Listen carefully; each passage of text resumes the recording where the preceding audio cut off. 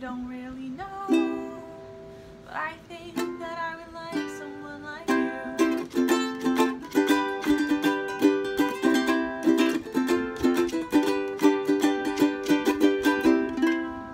Hello, that was my snippet song about that one. If you liked it, give it a thumbs up, because heck, feelings are weird.